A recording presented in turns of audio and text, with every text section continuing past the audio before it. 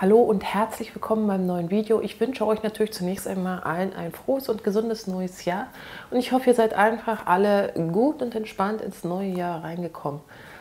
Heute soll es mal ein Video zum Thema Fotografie-Equipment geben. Der eine oder andere hat ja vielleicht zu Weihnachten eine neue Kamera bekommen, steigt gerade erst ein in das Thema Fotografie und da ist es natürlich ganz gut, wenn man so ein paar Hinweise bekommt, welches Equipment sollte ich mir am Anfang einfach zulegen, was brauche ich wirklich.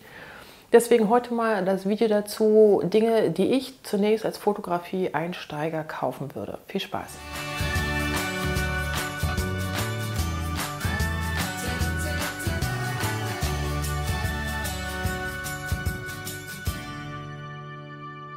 Ihr kennt das ja, wenn ihr schon eine Weile fotografiert. Es gibt so viel Fotografie-Equipment, was man sich zulegen kann. Da sieht man natürlich als Einsteiger gar nicht durch, was brauche ich jetzt wirklich, was muss ich haben. Deswegen heute einfach das Video dazu, was ich mir persönlich kaufen würde, was für mich persönlich wichtig war am Anfang und was ich auch aus heutiger Sicht vielleicht am Anfang kaufen würde. Steigen wir einfach ein. Nummer eins ist natürlich die richtige Speicherkarte. Ganz wichtig, ohne eine vernünftige Speicherkarte ist die ganze Sache mit der Fotografie nichts wert. Zum einen kauft ihr euch eine billige Karte, keine vernünftige, ist die Gefahr einfach groß, dass die schnell kaputt geht, eure Daten verloren gehen. Möchte man natürlich nicht haben, deswegen kauft euch eine vernünftige Karte. Ich habe dazu auch schon mal ein Video gemacht. Ich packe euch hier auch mal den Link dazu rein, falls ihr das nicht kennt und euch das nochmal anschauen wollt. Einfach aus dem Grund, die sollte schnell genug sein, gerade wenn ihr auch filmen wollt, muss sie natürlich auch schnell schreiben können, damit diese ganzen Daten gespeichert werden. Das nächste, was natürlich auch wichtig ist, meines Erachtens, gerade wenn ihr jetzt mit einer spiegellosen Kamera arbeitet, wo die Akkus schnell leer gehen, die einen größeren Stromverbrauch haben, da natürlich unbedingt ein Ersatzakku auch wenn ihr jetzt viel im Winter fotografiert, ich habe euch das ja in meinem letzten Video schon gezeigt, wenn man im Schnee fotografiert, die Akkus werden relativ schnell entladen, gerade wenn die kalt werden. Deswegen wichtig, ein Ersatzakku, meines Erachtens eines der wichtigsten Dinge. Ansonsten habt ihr natürlich schnell ein Problem, wenn die Akkus alle sind, dann ist Fotografieren vorbei. Deswegen am besten gleich einen Ersatzakku mit dazu kaufen. Der dritte Punkt auf meiner Liste, eine vernünftige Kameratasche. Das werdet ihr merken, es macht keinen Sinn, die irgendwo in eine Tasche irgendwo mit reinzustecken. Das Equipment soll natürlich auch geschützt sein. Deswegen eine eigene Tasche für die Kamera macht schon Sinn. Was das ist, das ist eure Entscheidung. Hängt natürlich davon ab, wie viel wollt ihr tragen, wie viel soll in die Kameratasche reinpassen. Wollt ihr bloß eine Tasche haben, wo nur die Kamera drin ist, wo ihr schnell Zugriff habt, ist natürlich so eine Colt-Tasche ganz interessant. Wer viel mitnehmen möchte, wer verschiedene Objektive kaufen möchte, vielleicht noch Filter und was es da alles gibt, wer das immer bei sich haben will, macht natürlich einen Kamerarucksack Sinn. Achtet einfach nur darauf, dass das Zeug, was ihr da alles so reinpacken wollt, dass das gut geschützt ist, dass eine gute Polsterung mit drin ist. Und gerade auch wenn ihr jetzt Rucksäcke habt, dass auch gerade die Polsterungen hier an den Schultern gut sind. Es gibt auch Rucksäcke, da trägt sich das einfach nicht so gut, wenn viel Gewicht drauf ist, tun euch schnell die Schultern weh. Deswegen achtet einfach ein bisschen drauf, was ihr euch für eine Kameratasche zulegen wollt. Vielleicht am Anfang auch einfach nur eine Keultasche, wenn ihr noch nicht so viel habt, dann habt ihr schnell Zugriff, wie gesagt. Aber später ist bei vielen so, dass sie sich dann doch einen Kamerarucksack kaufen, wenn eben gerade mehr Equipment da ist. Aber wie gesagt, das ist eure Entscheidung. Das müsst ihr einfach sehen, was für euch am sinnvollsten ist. Nicht jeder möchte immer mit einem großen Rucksack rumlaufen. Deswegen einfach schauen, was passt zu euren Wünschen. Wie möchtet ihr mit der Kamera unterwegs sein?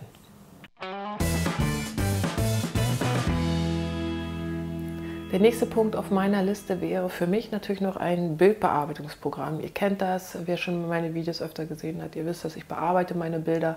Deswegen für mich ganz wichtig, war auch schon von Anfang an ein richtiges Bildbearbeitungsprogramm. Was das ist, das ist euch natürlich überlassen. Photoshop müsst ihr am Anfang nicht haben, da geht es dann natürlich schon in die größere Bearbeitung rein. Aber grundlegende Sachen zum Bearbeiten, da gibt es ja verschiedene Versionen. Wer jetzt kein Problem damit hat, so ein Abo zu haben, da ist natürlich Lightroom eine gute Sache. Ansonsten gibt es ja noch viele andere Programme auf dem Markt, die auch wirklich gut sind. Lumina zum Beispiel. Oder als Gratis-Version natürlich auch GIMP. Mit dem kann man auch wunderbar Fotos bearbeiten. Was ihr am Ende habt, das ist eure Entscheidung. Im Endeffekt sollt ihr euch damit wohlfühlen, sollt ihr damit gut arbeiten können.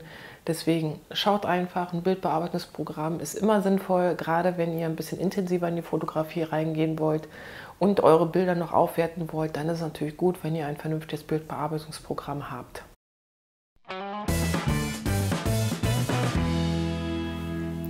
Punkt 5 auf meiner Liste wäre dann noch ein lichtstarkes Objektiv. In meinem Fall war das das 50 mm 1.8er Objektiv von Canon. Einfach, ich wollte ein Objektiv haben, was günstig ist. Ich wollte also am Anfang noch nicht so viel Geld investieren. So ein 50 mm Objektiv ist sehr, sehr günstig. Ihr habt eine schöne Offenblende, ihr könnt damit also auch tolle Fotos machen, wo ihr ein schönes Bouquet bekommt. Eine tolle Schärfe hat es außerdem. Und zusätzlich einfach der Vorteil, gerade wenn ihr mal in Situationen fotografiert, wo ihr ein lichtstarkes Objektiv braucht, wo ihr also schlechte Lichtverhältnisse habt und vielleicht noch aus der Hand fotografieren wollt, dann ist natürlich so ein 1,8er Objektiv von Vorteil, weil ihr einfach wesentlich mehr Licht in das Objektiv bekommt. Kleiner Nebeneffekt noch, ihr lernt gleich, wie man mit einer Festbrennweite arbeitet. Das ist natürlich ein Unterschied zu so einem Objektiv, wo ich die Brennweite verändern kann. Ihr müsst euch natürlich entsprechend bewegen. Ihr könnt nicht mehr einfach am Objektiv drehen und eine Brennweite einstellen. Ihr müsst euch natürlich selber nach vorne oder nach hinten bewegen, um den richtigen Bildausschnitt zu wählen.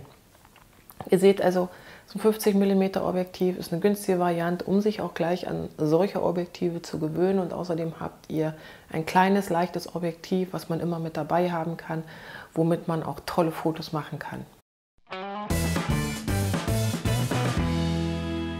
Und Punkt Nummer 6 wäre dann das Stativ, wobei ich sagen muss, da gehen so ein bisschen die Meinungen auseinander.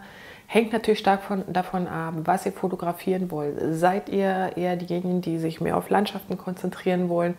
Da ist es natürlich toll, wenn man von Anfang an Stativ dabei hat. Einfach, weil man natürlich bei Landschaftsfotografie oft auch viel Zeit hat. Man hat die Chance, die Kamera hinzustellen, macht ein Foto, schaut sich das an und sagt dann, okay, das oder das möchte ich korrigieren.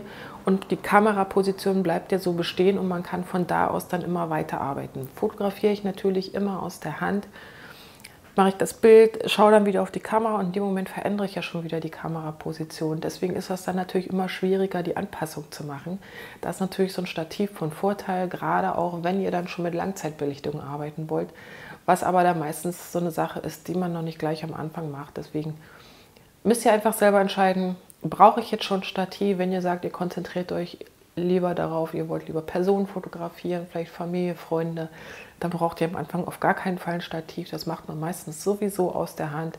Deswegen schaut einfach, was wollt ihr fotografieren und überlegt euch, brauche ich da jetzt wirklich ein Stativ oder kann ich mir das am Anfang vielleicht sogar erst mal sparen und sage lieber, ich lege mir ein bisschen Geld zur Seite und investiere dann später dafür in ein richtig gutes Stativ, weil es ist ja auch immer eine Frage, wie schwer soll das sein, was soll das für ein Gewicht aushalten, was möchte ich da für eine Kamera draufsetzen. Deswegen schaut einfach, ein Stativ muss am Anfang nicht sein.